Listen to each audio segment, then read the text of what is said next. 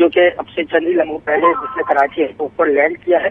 और इतलात ये है कि सबक सदर परवेज मुशरफ का जो जज खाकी है, उसको यहाँ से ले जाया जाएगा नमाज़ जहाँ पर उनकी नमाज़ जनाजा होगी।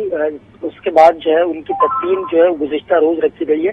लेकिन इस वक्त ताज़ा तरीन इतलात ये है कि तैयारा जो है वो कराची एयरपोर्ट पर लैंड कर गया है। जी।